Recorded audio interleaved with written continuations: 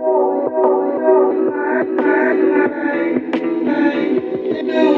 is up you guys? Welcome back to another one. If you're new to the channel, I am Gold Pony. I do new car, truck, SUV reviews on YouTube and today we are in the brand new 2024 Toyota Corolla GR courtesy of Younger Toyota in Hagerstown, Maryland. For more information on their inventory, please feel free to check out the link in the description box below. So today we're in this one today because this is the fun Corolla, known as the GR Corolla, which stands for Gazoo Racing. So GR to Toyota is kind of like the Type R is to Honda, it's kind of like AMG is to Mercedes, and so on. So ultimately in this video, we'll, be testing out and going over everything about this one from acceleration to handling, steering feel, ride quality, all that fun stuff. So having said all of that, what do you guys say? Let's just go ahead and jump right into it. And as always, let's start with pricing. Uh, as you can imagine, there are a few different trim levels for the 2024 GR Corolla. First one being the Core, starting at 36,500, Premium for $40,320, and the Circuit Edition going for $45,140. But regardless of trim level that you go with, the power plant on this one is going to be the same. Powering the beast is a 1.6 liter turbocharged three cylinder, putting out 300 horsepower at 6,500 RPM, 273 pound-feet of torque, coming in at 3,000 RPM. That power being sent to all four wheels. Yes, this is all-wheel drive only, which is good because it's snowy today, through a six-speed manual with rev matching. You gotta love that. 0 to 60 time coming in at approximately 4.9 seconds. Top speed 142 miles per hour, with MPG numbers coming in at 21 in the city, 28 on the highway, taking premium unleaded fuel. But so now before we do any kind of fun acceleration test here in the GR Corolla, I wanted to mention to you guys the drive modes. So there's a little toggle switch located just in front of the shifter. Drive modes will include Eco, Normal, Sport, and Custom, essentially adjusting things like the throttle response and the steering sensitivity. And so, now having got all of that out of the way, what do you guys say? Let's go ahead and find a straightaway. Let's put the acceleration here to the test. I will say my GoPro literally just died before I started filming this video, so I'm gonna have to buy a new one tomorrow. So forgive me, you're gonna see more of my ugly face in this video than normal, but again, having said that, let's go ahead and give this a shot and let's see how quickly we can get our new 2024 GR Corolla here up to speed. All right, in three, two, one, here we go. Yeah, baby. Nice.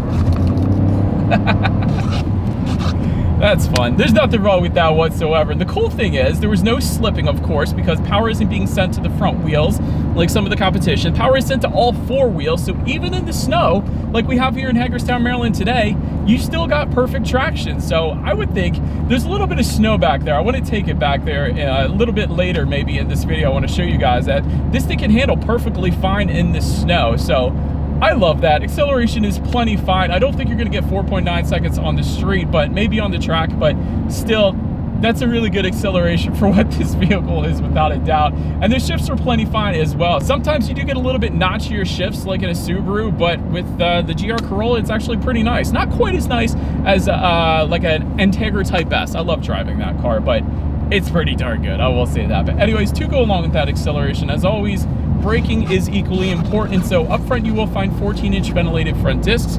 In the back, 11.7 inch ventilated rear discs. Did would also mention though, if you go with the premium or circuit edition trim levels, you're also gonna get red painted front calipers with the GR logo, of course, and a center handbrake comes standard for all trim levels across the board. Why is that, you might ask? Because you can actually allow up to 70% of the power just to be sent to the rear wheels alone. So you can actually do a little bit of drifting. Not that we're gonna do that in this car today because it's not my car, it belongs to a dealership, but it's possible, and that's why the handbrake is there. So that's pretty cool too. But anyways, as far as braking feel goes, definitely instantly bites, brings you to an immediate stop. So absolutely no issues when it comes to that. Then touching on suspension and handling, up front you're gonna get a MacPherson strut front suspension. In the back, double wishbone type multi-link rear suspension, front and rear stabilizer bars. But you also get a rear strut brace and a sport tune suspension by Gazoo Racing, of course. So as far as steering feel goes, let's do the, wow, I love the steering feel of this thing instantly points you in the direction that you want to go. I've only driven straight in this thing so far, so I haven't really got a chance to test it out, but I love the steering feel. It's such a heavy weight to it.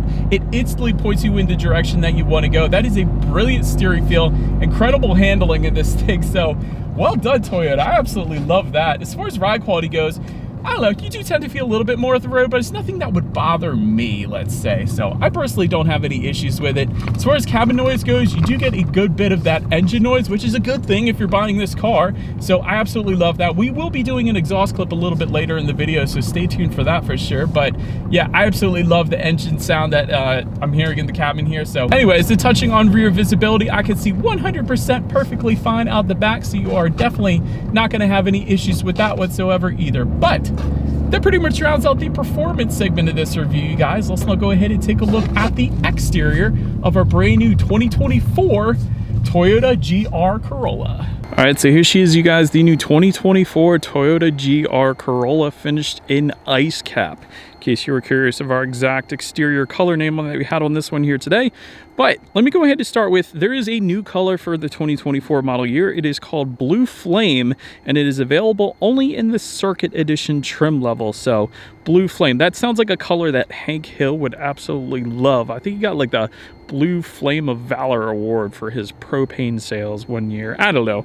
Anyways, let's go ahead and start with where this one is made.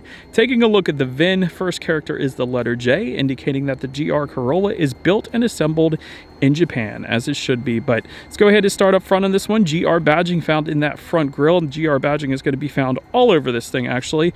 Um, you will find a matte black front grille for the core trim, but then it's going to be switched up to a gloss black front grille if you were to go with the premium or the circuit edition. Front air curtains to the sides there, helping direct air around the wheel and tire combination. Of course, LED headlights to the sides with LED daytime running lights. You do get the automatic feature, but you also get automatic high beams. I love that feature personally. So if you have your high beams on at night and it senses the vehicle coming in the opposite direction, it's going to automatically dim them back to low beams. And when that vehicle is gone, it's going to automatically bounce it back up the high beams for you there. So that is pretty stinking cool. You do get LED fog lights down below for all trim levels across the board as well. So that pretty much rounds out the front end. I love the look. Definitely bumped out the fenders for this GR Corolla. So anyways, let's now go ahead and make our way to the side. All right, so now since we are around to the side of this one, first I want to start by mentioning there is a carbon fiber roof for the Circuit Edition trim level only. Obviously, that's why we don't have it with us here today. Gloss black power adjustable side mirrors, though, do come standard for all trims. You will get LED integrated turn signals, yet again, for all trim levels across the board. You do have some functional front fender vents. And let me actually get up a little bit closer so I can show you guys that they are indeed functional. Actually, I don't know if you're gonna be able to see that or not, but but I don't know, just take my word for it. They're functional. You got the GR logo once again, found in those front fenders just behind that, but rear fender flares, you guys can see that. That is pretty cool yet again. Another really cool feature that, well, it's not really a feature, but a little accent piece is you do get the GR4 badging found in the side skirts here. So four meaning all-wheel drive, of course, Gazoo Racing. So I love that. I think that's a pretty cool little touch there. Take a look down at the wheel setup, 18 by 8.5 inch gloss black, 15 spoke alloys for the core and premium, but then you get 18 by 8.5 inch gloss black, 10 spoke forged alloys for the circuit edition. But that pretty much rounds out the side profile. Let's now go ahead and make our way to the back. All right, so now since we are around to the back of the snow-covered GR Corolla, body-colored rear spoiler for the core and premium trims, gloss black rear spoiler for the circuit edition. You will find LED taillights. They do come standard for all trim levels across the board. Got the rear window wiper back there as well. More GR badging, of course, but just below it all, you will find either a matte black or gloss black rear diffuser, yet again, dependent upon the trim level, but but then a triple exhaust with brushed stainless steel tips. That just sounds cool and it looks cool too. So anyways, having said that, I do believe you guys know what we have to do next here. As always, here is that exhaust clip.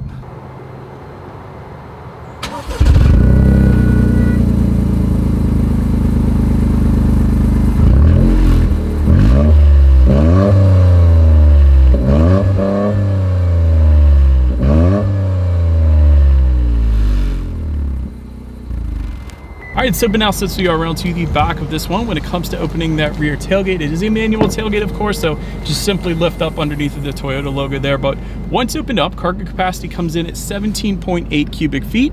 If that was not enough space, there of course is a 60-40 split, meaning the rear seats do fold down for quite a bit of extra space then if you needed it. There were some grocery bag hooks back there. I was kind of surprised to see that. So I'm definitely a big fan of that. LED cargo lighting, was kind of expecting to see halogen, so nice seeing that as well. Then if you were to lift up underneath of that car cargo floor, you are going to find the Fix-A-Flat kit with a good bit of in-floor storage, but still would have preferred the spare tire. You guys know me. But anyways, then make your way up to the rear legroom. That comes in at 29.9 inches, right around the same as my old Ford Mustang GT, actually. For reference, I'm an even six feet tall. This is how much space I had back there.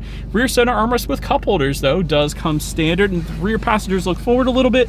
You will find a uh, USB charging port and a 12 volt power outlet as well. I just looked. So that's there for them too. No rear ventilation. You really don't need it in this size of a car anyways. But then make our way up to the front seats. Fabric seats are going to come standard on the core. You got the cool GR logo in the headrest though, and they're kind of a one-piece seat. They actually look really good. Uh, synthetic leather seating for the premium and circuit edition trims. Heated front seats, again for those two, the premium and circuit edition. Overall, seat comfort was definitely pretty nice. Seats definitely hold you in place really nice as well. Um, not anything crazy like Nismo seats, but yeah, they definitely get the job done for sure.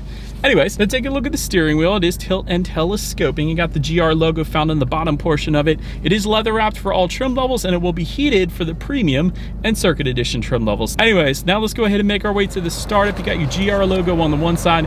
When you flip it over, Toyota logo, lock and unlock. Pretty basic key overall, but it is all keyless entry with a push button start. So all I'm going to do here is put my foot in the brake and clutch and press that GR engine start button located just by the driver's right knee. And so once started up, you get a full 12.3 inch digital gauge cluster, so that is pretty stinking cool. When you change the drive modes, it actually does adjust the look of that gauge cluster as well. So if I put it in sport driving mode, it looks like an old Honda S2K kind of to me. And then uh, normal is pretty normal and horrible description there, but then eco is just gonna show up as eco. It doesn't change anything. So a little bit of a difference there dependent upon the drive mode, but overall it has pretty much everything you could possibly want up there. You got boost pressure to the left there, outside temperature as well, how many miles you have left until you hit empty. So uh, GR logo, of course, yet again. so nothing wrong with the gauges there. But now let's go ahead and make our way to overall interior quality. Aluminum foot pedals come standard on all trim levels across the board. I like those. Gray stitch interior accents for the core and premium trim levels. That's through the seats basically. But then you're gonna get blue stitched interior accents for that circuit edition trim. Automatic climate control does come standard on all trim levels. So you just set the temperature. It's gonna automatically hit it, of course. Wireless phone charger coming on the premium and Circuit Edition, so we don't have that today. Uh, just in front of the shifter here, you do get a little bit of storage there. You got the USB charging port to hook up, uh, or to charge your phone, really. Just behind the shifter is that circular dial and button, which kind of sets you up in different modes. Like uh, if you turn it to the right, you can send 75% uh, of the power or the torque to the rear wheels. If you turn it to the left, you can send the majority of the power to the front wheels, a 60-40 split there. And if you push it in, you're gonna get the track mode. So that's pretty cool too. I like that that's there. I'm gonna go ahead and leave it in the 60-40 split there because uh, I don't think we wanna put it in rear wheel drive in the snow, just a hunch, but unless you're rally racing. Anyways, now let's go ahead and take a look at the infotainment screen here. 8-inch color touchscreen display does come standard on all trim levels. Bluetooth and audio streaming, wireless, Android Auto, Apple CarPlay, you gotta love that. You can check out your driving statistics up there if you wanted to, along with your radio information. And so when it comes to the sound systems, there are two of them. It's dependent upon the trim level. So you're gonna find six speakers for the core that we have today, and then an eight speaker JBL sound system for the premium and circuit edition trim levels. So having said that, let's go ahead and turn on the radio, see what we got playing today, and let's test out our six speaker sound system that we have with us here today. Actually, not that bad for a six speaker sound system, if I'm being honest. There's a decent amount of bass there. Obviously, it's not gonna be as good as the JBL. I love JBL. That was a, I had an external subwoofer in my RSX back in the day. It was a JBL subwoofer. Then I had an Alpine amp as well. But anyways, JBL is an amazing company that's been around for decades. So that's definitely a good sound system, I'm sure, as well. But anyways, last thing I want to mention to you guys on that infotainment screen, at least, is when you do put the GR Corolla in reverse, you will find a rear view camera coming standard across the board, letting you know who or what is behind you, which is always is going to lead us into safety. And so to start, front side side curtain airbags do come standard. You're going to get a driver's knee airbag up front, along with a passenger seat cushion airbag. In the back, you're going to have latch, aka lower anchors and tethers for children for the rear car seats, rear child door locks, tire pressure monitoring system, but also coming standard this is pretty good. Toyota Safety Sense 3.0. That gives you a ton. Pre-collision system with pedestrian detection, dynamic radar cruise control, lane departure alert with steering assist, lane tracing assist, road sign assist, and a blind spot monitoring system with rear cross traffic alert, even for our core trim level. That's pretty cool. But then if you were to go with the premium or circuit edition, you're also going to get front and rear parking sensor. So it's gonna beep a lot at you if you get too close to something. So overall, when it comes to my final thoughts here, it's it's plenty quick. I love that. I love that it has all-wheel drive though. That's the big thing for me because the Integra Type S, the Civic Type R, they don't get all-wheel drive. And I live in Western Maryland slash Southern PA where we get a good bit of snow like we got today. So all-wheel drive is definitely something I would need if I were to daily drive this thing. I'm just saying. Great handling in this thing as well. Absolutely love that. I love the way the manual was set up as well. Sometimes, like I said, with other shifters, it can be a little bit notchy, like Subaru in particular, uh, even some Chevys. But um, typically what I found is Honda slash Acura, of course, does an amazing job with their shifters. And Toyota, it's usually hit and miss. Like I, I don't necessarily care for the, uh, the uh, 86, but I really like the shifter here and the way it rode through the gears here in the GR Corolla. I'm just saying, but overall, yeah, this thing was fun. Let me know what you guys think of the GR Corolla in the comment section below. That is about it for this one, you guys. Thank you so much for watching. Feel free to follow me on social media. If you want to see what's coming next on the channel before it gets to YouTube, I put a bunch of spy shots of this thing before it got to the YouTube channel. Be sure to hit the subscribe and the bell notification button if you're into new car reviews. That is what we do here on this channel after all. Do appreciate you guys watching more than you know. I will see you guys all in the next video. Stay gold.